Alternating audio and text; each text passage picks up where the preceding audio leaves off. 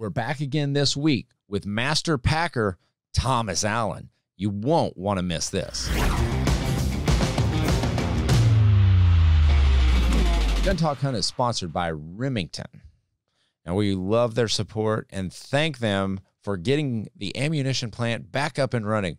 You know, since 1939, Remington really has dedicated themselves to producing some phenomenal bullets like the Core-Lokt. We all know that green and yellow box. I've used them in 30 6s and 30 30s, and I just love it. 243s even. So they've got a wide range of offerings in the Core-Lokt and the Scirocco ammo as well. So if you want to know more about how Remington is helping boost ammo numbers, find out more at remington.com. Welcome into another Gun Talk Hunt. As you know, last week we hung on the words of Thomas Allen, and we are back with him this week talking about what needs to go into your pack. Today's episode is brought to you by Pyramyd Air, everything air gun, everything you need, all at pyramydair.com. ATN, yeah, it's the future of optics. And Remington, it's all our favorite ammo, and we love them for getting us back into the game. And Big Green is back up and running. Thank you, Remington. Okay, we're back with Thomas Allen. And where we left off last week was we started talking a little bit about packs and what needs to go into them, what you need to dive into and really, Thomas kind of left us with a really interesting thought as it was scenario based, what you are going to encounter on your hunt. So, Thomas, let's pick it up there. Well, first of all, you and I have been spending way too much time together lately. that's a good thing. It's a really good thing. like that's what this is what it's all about. And, and and if you can't, you know, Thomas Allen and I, we have we have dedicated a one hunt a year to each other. You know, mm-hmm. whether whether we go to Iowa, uh, he comes to Oklahoma, and uh, uh, hopefully we've we've drawn out by now. Like I'm going to go ahead and say it, we've drawn out for this Wyoming antelope hunt, and now we got to start preparing, and we got to start thinking about what we need to be packing and how efficient we need to make ourselves. Um, and I've got a really great story about this and Thomas Allen. Um, but I will I can say, only imagine. I'm going to start this with a real quick story. If you ever thought about getting a dog, I'm going to tell you this story and I'm going to let you go from there. So there we were last night at about midnight. I'm I'm dead asleep, and all of a sudden I hear the dog stays in the kennel right beside the bed. So he's sitting there and he's pacing and he's pacing, and I'm like, oh gosh, what's wrong with him? Why don't we go to sleep? He's uneasy, and I should have known at that moment things were going to be, it was going to be a long night. Mm. So then it hits me. You like that smell uh, of, of like when you leave, like, like let's say you leave a, a, like a dog takes a dump in your house and you don't find it for like two weeks and you're like, what is that smell? That hit me at midnight last night and I'm like, oh no, this is going to be bad. And then I, th- the thought did cross my mind though that my wife, I was like, ooh, maybe she'll pick up this mess and I could fake and go back to sleep. But I got a hand across my chest and says, do you smell that? I go, and I'm like, dang it.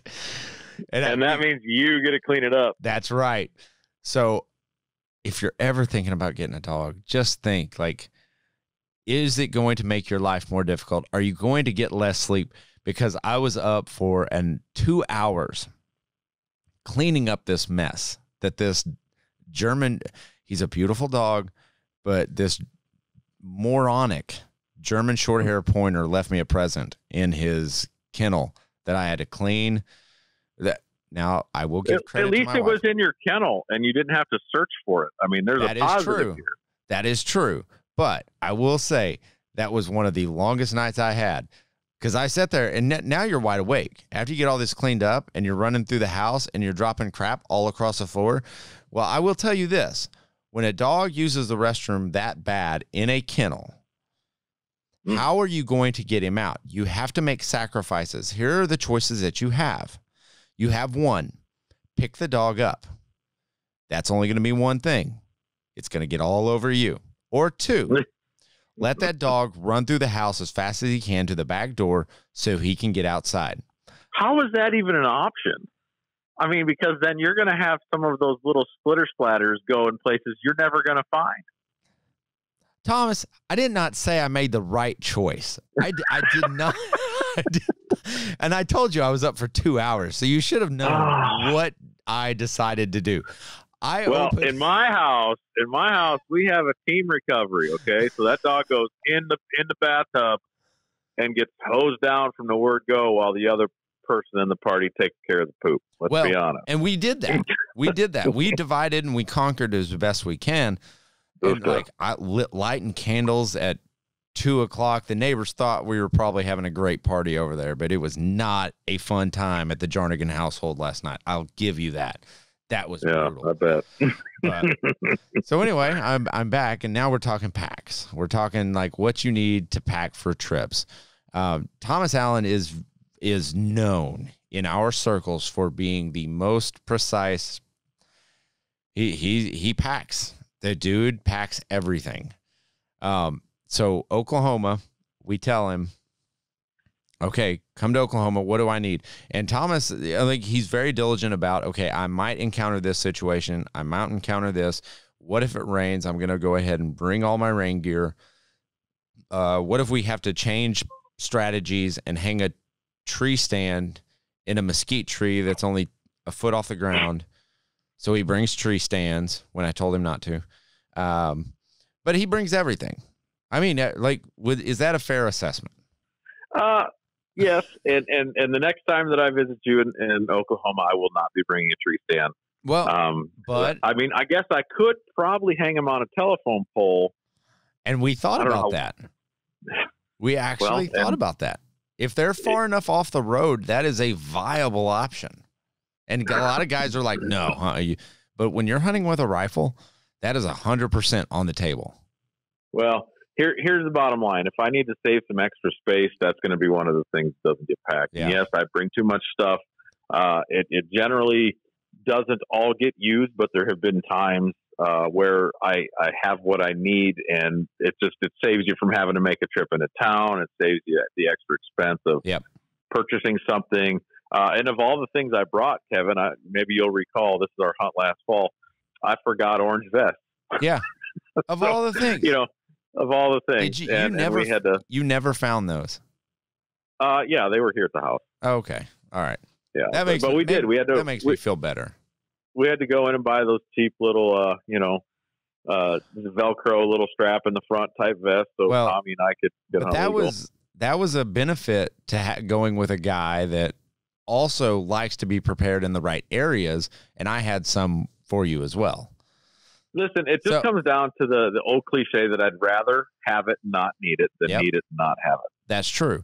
And so guys heading in so I drew out I'm I'm going to get into all my draws at another time, but I drew out for some hunts already.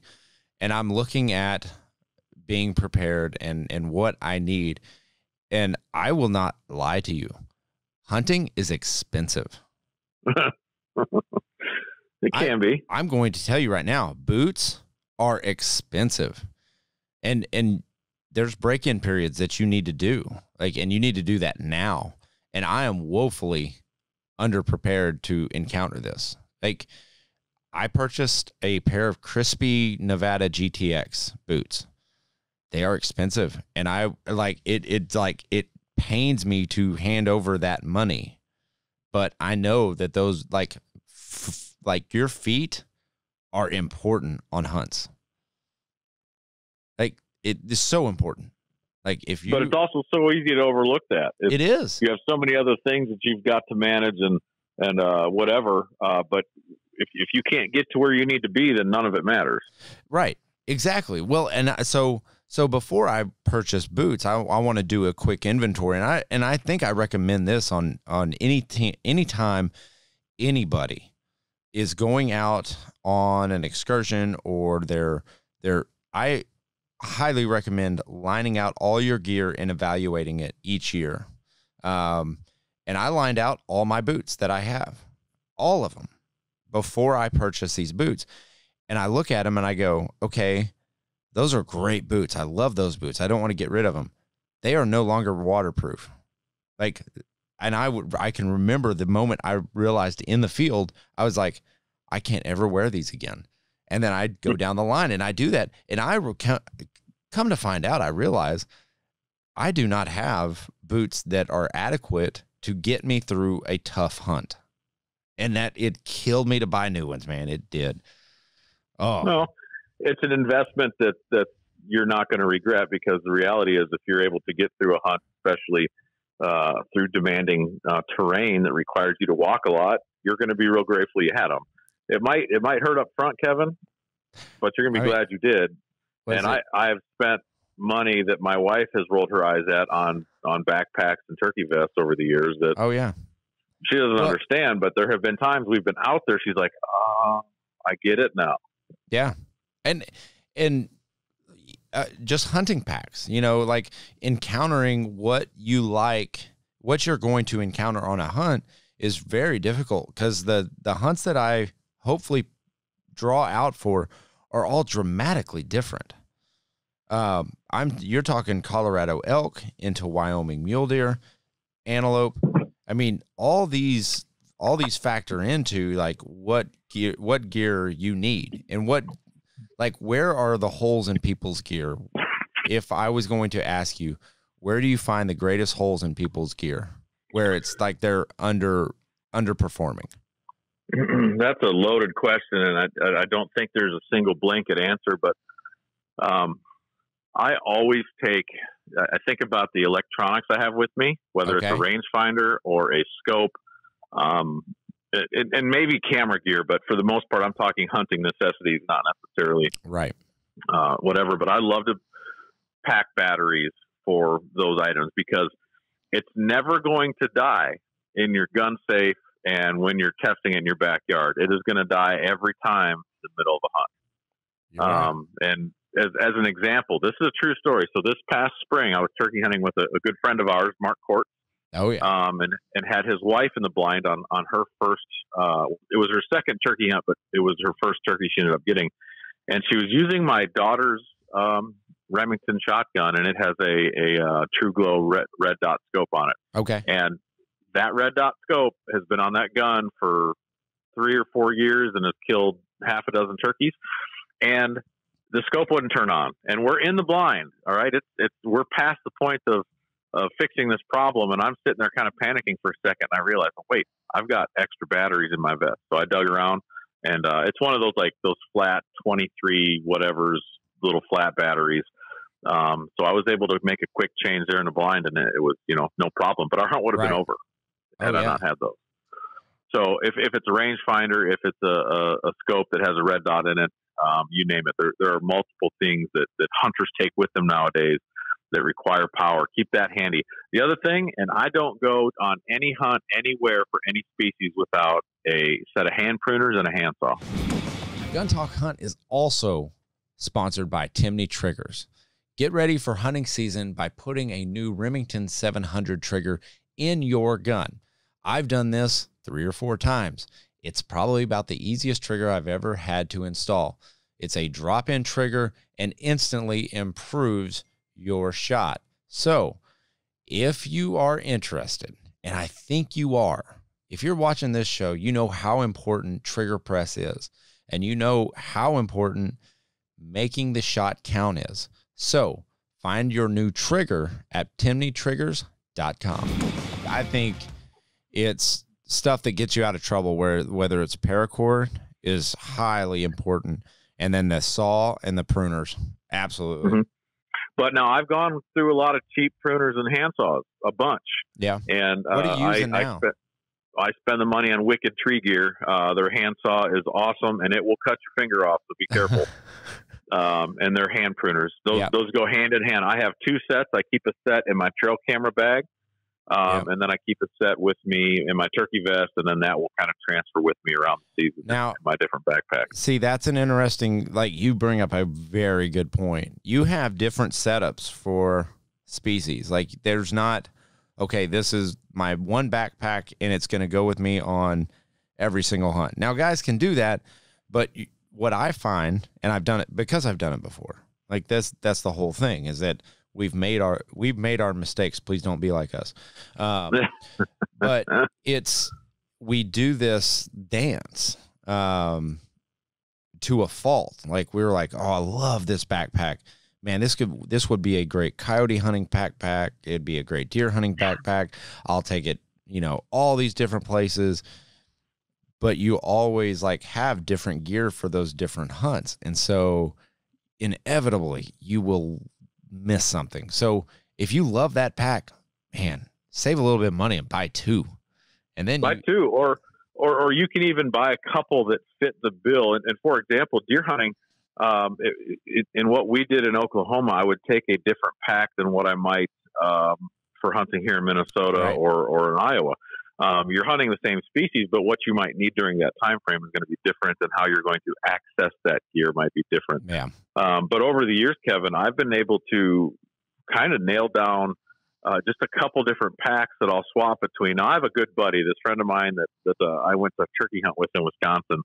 He has he has a fanaticism about backpacks, and he has got piles of them. oh really? Uh, yeah, it, it's actually pretty intriguing what he is what he has found, um, and it's something I wish I was a little bit more in tune to. I think I've got myself figured out, but my friend Travis is very very adept at the right pack for the right situation. Yeah. Like you, he puts in five to six Western hunts a year, uh, or applies for you know, and he'll go on Oh, one yeah. or two of those. Um, so he's got to have you know heavy duty frame packs for packing out quarters. He's got to have a a day pack for his his whitetails in Wisconsin and everything in between he might encounter. So there is definitely a list of packs to have, but I don't think you need to have seven or eight. I think you can get by with, you know, let's let's throw a turkey vest in there as one of those. It- Yeah. you know, three to four packs for about everything you'd ever See, need. I think three and four packs is is good, and I'm I'm one of those guys that's like, oh yeah, I found this you know pack, and I found a Tenzing pack, um, and it was their turkey pack. It had foldable legs on it and everything else, and I thought that would be the greatest like pack out there for the especially the type of hunting I do, and I you know I purchase it and I go out and I hunt it, and man, I was so so disappointed in that pack just because like it just didn't fit that bill. Like it didn't do exactly what I wanted to. Like I'd be going through brush or something like that, and I'd clip one of the legs, and then all of a sudden I got a leg sticking back, you know, catching every tree limb, and you know, there's Yeah, just but that pack has its place. I, I've used one of those too, uh, and I can give you examples from this year where that pack would have played brilliantly uh, in a turkey hunt. yeah. Did wait? Didn't I send you with that pack? Well, I probably. I kind of seem to think that, but I've I those those little legs that stick out. I've, Yeah. I've used those before, and they, especially turkey hunting, they have a they have a place. I So thought yeah, I, I I'm, thought I'm, I'm guessing you might have. I think so because I was like, man, I'm not going to use this. Like, and I'm like, and I'm glad and that it'll is help. a for you. gear junkie. Take he can take it. Yeah. Well, w- not only that, you have a son that is very passionate about it, and I know Mhm. that he would appreciate that. You know, and and and that's another thing that you guys, man, you can sell this stuff, but man, there's guys out there that that you know they just might not be able to afford it, and I do the same thing. I'll, I'll man, I'll give out the gear that I'm I'm just not happy with, and maybe someone else has a use for it. Well, and I'm the same way. You know, in, in, in my business, I end up with a, a, a pretty substantial stockpile of rods and reels, and um, you will never find anything I have for sale. It's something that I will run into a person that needs it more than me, and, and I'll give it to them. And that's Yeah.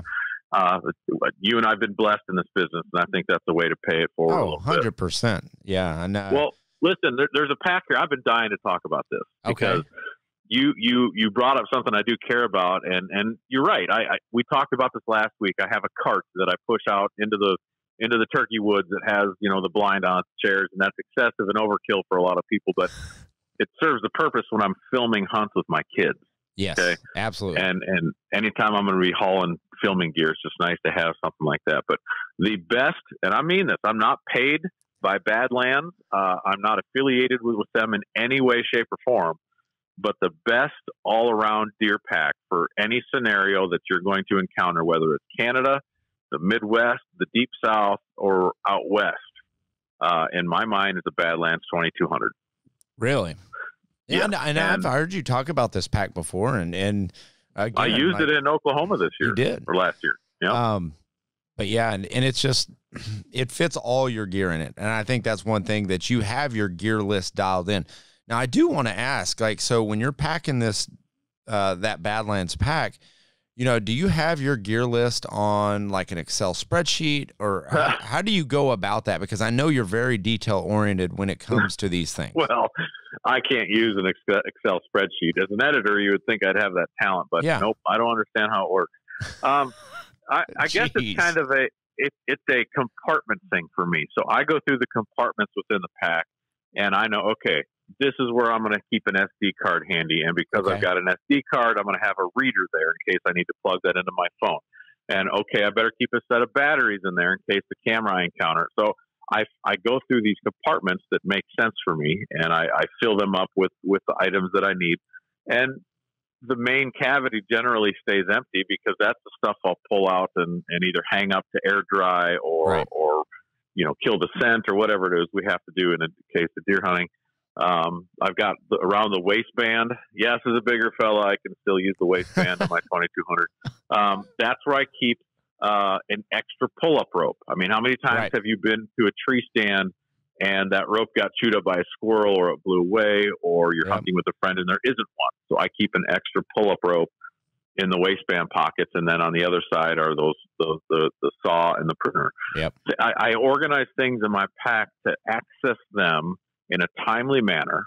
So I don't got to root through my bag, get to the very bottom just to get a pull-up bag, right, or pull-up rope. I don't want to have to take my pack off to climb a tree stand. I want Right. to walk there, get in that stand as quickly as possible. Uh, uh, there's two levels of contamination in a deer hunting situation. That's your scent, and that's the sight. That's Yep. the stuff the deer can see. If you're having to climb down that tree stand a bunch of times, there's a fair chance that a deer somewhere is watching you do that. Oh yeah, Um, Happen, so- ha- it's happened to me a million times. I load stuff in my pack based on accessibility and when I'm going to need them in a deer hunting scenario. Now, if you're trapped in the, the, the mountains looking for elk, uh, you may not need a pull up rope, and that might get swapped with something else. And I make sure the backpack has a uh, a CamelBak water bladder thing. Yeah. You know, if you're not going to be um, taking it off for a while and you're going to be walking a lot of miles, you got to have water, See- especially higher elevation. That's one thing that I am not used to doing is having Mhm. a water pack, and that that part of it kind of stresses me. It's not that like the physicalness of the hunt doesn't stress me. It's the the what is going into my pack, and a water Mhm. bladder is is at the top of the list. And now I've got to go through all these water bladders, and I've got to look at them, and I got to decide, you know, how big do I need it, um, which is going to be. And you don't want to accidentally open up your saw and leave your saw in your backpack, and then that splashes open your water bladder. or or or a knife. I mean, and Mm-hmm. and that's a big thing about it is is just where you put everything, and and that's why I highly recommend. I mean, start early. Start early with this process. Start thinking about you know the area. If you're unfamiliar with the area, uh, like I am this year, I am completely blind, blind, blind, blind to this unit that I'm going to go chase elk in. I have local knowledge um, which is very easy to get. I mean, you can call the game wardens, you know, call around, and they'll they'll help you. Um, they'll at least start sending you directions. There's great mapping systems that you can use um, to get an, an idea of the terrain. Uh, but this is very mountainous country, and I'm at sea level or below, so it's going to be a grind. Um, but I think it can get done. Uh, But you know, here this is a point where you need to be loaded as much as possible, but as as minimally as possible because a you don't want to wear yourself out taking too much stuff, but b you want to make sure you have what you need and not have to Right. return to the truck middle of the day to start over. You want to leave that vehicle or your your camp and not have to return until you need to. right, And and the right pack is critical for that. Yeah, and it's going to be a it's man, it's going to be a 6 7 day backcountry hunt. Um Yeah, but man, it's it's a little bit stressful for me. Like I'm not gonna lie. Like it's like that's why I'm taking the time to line out everything. That's why I'm lining out all my boots and going. That is not going to work. That is not going. Well, to work. you, but you you spent good money on good boots. Don't skimp on a good pack. That's Spend right. the money on a quality pack. You don't want zippers breaking. You don't want clips breaking. You want as much storage and packing options as you can possibly have. Um, and in the case that you do kill an animal, how are you going to get it out of there? Um, maybe that pack isn't going to be right for, you know, packing out a deer. I don't know. You you have to decide Yeah, you got what makes sense. Yeah, you got to look at and and that's one of the big reasons to you know contact, um, you know, local game officials and and research.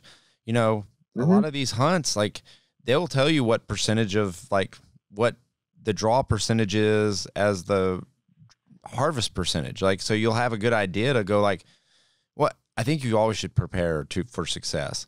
Um, but man, in this case, I'm I, now I'm going to look at. I mean, I'm probably going to need a frame pack, um, for sure, because But is that going to be the pack you're going to work with every single day, or is that going to be problem. just to haul out an animal? that's probably going to be just to haul out an animal. Well, and that's that's why we talked a minute ago about having multiple options. Yeah. I have I have one turkey vest. It's all I'm going to use turkey hunting. Um, in fact, I've always I'm still in the turkey mode, Kevin. It's hard to get out of it. it's hard to get Dude, out of it. It just I, I've got a I've got my eyes on a vest for next year, and I'm glad someone finally did this. Uh, but Primos has come out with a Will Primos, Wilbur Primos himself, the man that started Primos, a Will designed uh, turkey vest, and it's a two hundred and sixty dollar turkey vest. And I'm like, man, that's a lot of money. I've never spent over a hundred dollars, probably maybe sixty on a turkey vest. They've all been relatively cheap but the zippers break after a year and the box call holder doesn't keep the box call quiet and it just right. it accept it you, you as a hunter you buy that pack understanding there are certain problems you can't solve this other vest that will primos has worked on it solves those problems Really? and i love people in the outdoors that identify problems or oh yeah. or issues that you just accept as normal and they fix them i really really like that and this vest from him is something that does that That's and it's cool. worth 250 bucks it's worth it. Uh, and I think that's that's important is that we got guys in the industry that that say, you know, they don't live with just normal. They just do Mhm. it. They just go, you know right. what? You don't have to live like this. Let's let's Mhm. better it. Well, Thomas, I, there, I- dude, I we could get into a lot of those. those I know. those- there are so many of those things. Well, and there's stuff and that- that really it, it intrigues me to watch innovators work. And when I walk through uh, trade shows, or, or for example, ICAST here in a couple weeks, um, it, it it really is fascinating to see the innovations that continue to come out. People address problems that that that average consumers accept as normal, and and that's I think that we've gotten through to a certain point where that you know, okay, we can deal with life this way. We can deal with with an issue on a product this way. But the the passionate innovators that make up the outdoor space, they don't ever accept just success. They're always looking for the next step to make something better, and that's something as hunters we all get to take advantage of and look for those types of things. Invest in those types of things because you can't skimp on cheap boots. You can't skip on a cheap pack that's right. spend the money on a few things, and those items are going to work for you. And when the time comes to put it to full in to full on action, right? You bought it for this particular purpose. You're going to be so glad you have Yep. it in those moments. That's hundred percent right. Uh, what is it? Buy once, cry once. But buy four or five of them. Yes. Anyway, yeah, cry cry four or five times. and Then just do that. hey, but you didn't complain once when I showed up with a power washer, did you? No, I did not. That that was that was one of the items in his you know on the road kit that he he showed up with like this this small power washer, not like this monstrosity, not something you're gonna take out and you're gonna like wash the uh, driveway with. But he shows out with his power washer, and I'm like, oh my gosh, why has he got a power And and he did flip me some garbage over that. I'm not going to lie I to you. did. Oh, constant. And then Probably rightly so. then I found the use for it. So what he did was we cleaned the skulls. I mean, right after we he brought a pot, he brought a burner, we boiled the heads, cleaned them up right there. I mean, we went back all of us with like clean heads, and I still have not done anything to that head, and it's sitting in my house and scent free. It gets beautiful. Well, and that's right, it, right there. There's nothing worse than having to prepare a European mount that's, that's rot. I mean, Right. that's just brutal. So I've always found it's easier to take care of them right away. But that, here nor there, Yep. sometimes there are certain things in your pack list, whether it's a power washer, the right snippers and saws, uh, the, the pull up string is something I have used a ton, Kevin. Yes. So I take that with me the same thing. help. Oh yeah. Well, Thomas Allen, thank you so much for joining us. And I My know pleasure. we're going to be talking again. I know, I know we are because uh, I we've got to get our thoughts on uh, when we drop for this Wyoming antelope. We're going to have to get once we get closer. We'll start talking about it. We'll start scheming on how we're going to get this done. But uh, you guys will definitely want to hang on for that. I'm looking forward to it, my friend. Thanks for having me. All right. Thanks, Thomas Allen. This is Gun Talk Hunt. As always, keep those muzzles pointed in a safe direction and go on a hunt. It's fun.